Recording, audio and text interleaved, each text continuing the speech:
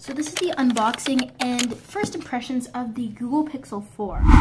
Let's get into it. We have the phone itself wrapped up. It's like the Panda edition, I believe. It's pretty cool. It comes with basically an off-brand charger. Why? Because this is an open box. And then it comes with USB power adapter, kind of rip off Apple. It comes with a SIM ejector by Orchard. I'm gonna open this thing up and just give you a quick look at the phone. I'm gonna go plug this in. Don't forget to go check out my full review because I do have that. I'll link that down in the description and uh, you'll see it at the end of the video, but this is how it looks. Okay, very nice, very, very nice. Has a glass back. I really do like how this looks. Um, the little accent button right over here, very, very nice. Very one-handable. Uh, yeah, I like this a lot. Very, very comfy. Um, very nice. Okay, I just got fingerprint smudges all on it.